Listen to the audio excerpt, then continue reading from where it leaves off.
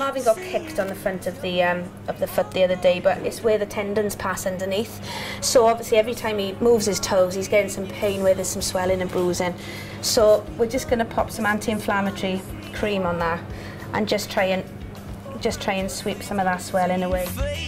What's the most common type of injury that you see in here? I mean, the, throughout football, documented the hamstring injuries are the most uh, common injuries throughout, and, and I think certainly are.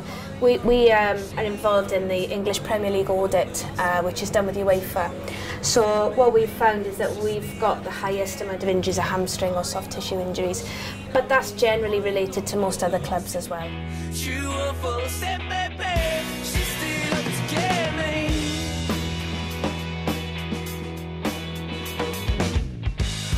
20 years, 25 years, it was a, a wet sponge and a, Yeah. a squirt of, you know, deep heat or something like that. It, it's changed so much, hasn't it, in terms of the treatment and everything? I think what you often find now in football teams is that the sports science and the medical team work closely together to look at the whole performance. So there's really two branches to us, is treating the injuries when they occur, but a large part of what we're doing is preventing injuries as well.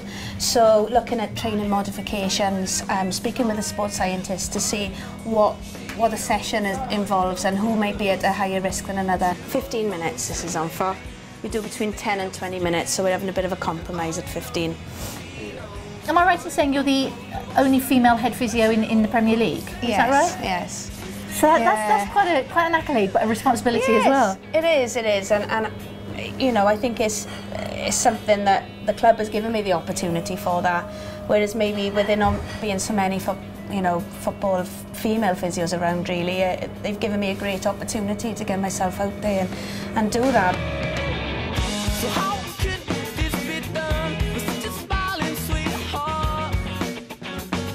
What is it like keeping this lot in, in, in, in train and keeping them under, under control? Not the easiest job in the Not world. Not easy, not easy at all, no, not easy at all. You're the nice quiet one at the moment, Marvin. We're all the same, it doesn't matter what colour our skin is. And especially with playing football, you play with a lot of different nationalities and you get to know them, you know, as your friends. And even when the, when stuff's getting said about them, you know, it hurts you as well because they're your friends. A pretty heartfelt sentiment from Lee Trundle sharing his experiences of how racism has touched his life. Lee, Wayne Routledge, and Roland Lamah all took questions from local school children, curious to learn about the problem and how to tackle it. What is racism? Yes, mate. Fantastic answer. Yeah, making fun of somebody because they have a different skin colour. Now, racism is discriminating against somebody because of their skin colour. So discriminating is basically making fun of somebody. It's bullying somebody, picking on them because of their skin colour. We believe that you know no one's born born a racist, and, and it's something that's kind of learnt and um, and something that you you know young people pick up from from older brothers and sisters, friends, even family members. So you know we, we try and work with primary school kids to to almost kind of be proactive in, in sort of you know teaching them lessons that uh, you know it doesn't matter where you come from or what the colour of skin is that, that everyone can sort of get along together and have things in common. So, has the message got through and will it be disseminated? I think I'll like pass it on to some more people in my school so they know all about it. Yeah, and tell my parents and things. Is it important to pass the message on? Yeah, stop other people from making people upset. Why do you think it's important that we know this? So I don't say anything horrible, which I don't know what it means to other people. Do you think that football's a good way of teaching people not to not to be racist? Yes. Wayne Routledge is one of dozens of footballers who've been subjected to racist abuse over the years. He believes campaigns like this, aimed at the adults of tomorrow, are vital. You're a sponge when you're young, you take in most things and you take it to your adult life. So, obviously, if you can get a grip on things such as racism and cultural differences at a young age, it'll help for them in the future. Chelsea Samuel Eto'o said, Racism is something created, and anything that's been created can be undone. This campaign is looking to prevent rather than cure.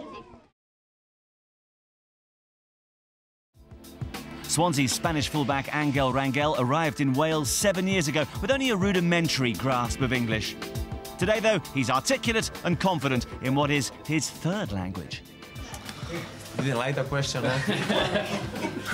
I thought that I had learned a lot in school, but when I came here, obviously at 24, Uh, I couldn't understand a word. I couldn't really say anything to anyone, so it was it was re really hard at the beginning.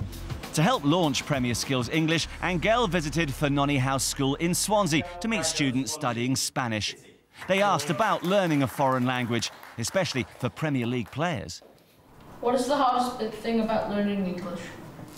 The pronunciation, I found it very difficult because uh, when when you see a word, obviously you don't know how to pronounce it, and then obviously you can make a mistake when you say it and the other person don't understand you. But obviously, I think you have to learn. What is the most embarrassing mistake you have made with English?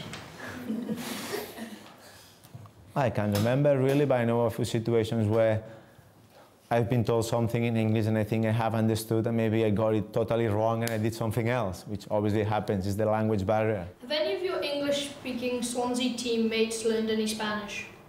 There is a few of them and know a few words. I know Ashley Williams uh, has a good accent in Spanish, he knows a few words. And I'd say a few of them know words, Leon Britton as well. But obviously they're from here, so they don't need to learn very much really. Do you speak Spanish to the other Spanish players on the team? When we are together without any British player or any nationality around, yeah, we speak in Spanish if we are on our own.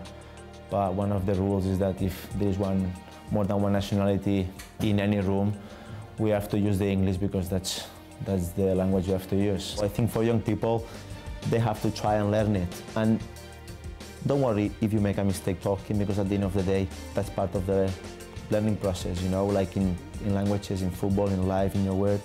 You need to make mistakes to get better and they need, they need to be brave and do it.